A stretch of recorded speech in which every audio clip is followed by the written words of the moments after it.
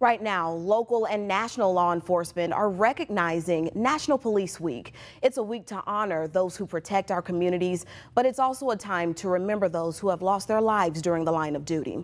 The National Law Enforcement Officer Memorial Fund held its 34th annual candlelight vigil in our nation's capital. This year, leaders engraved 619 names on the memorial wall, the largest number ever added in a single year.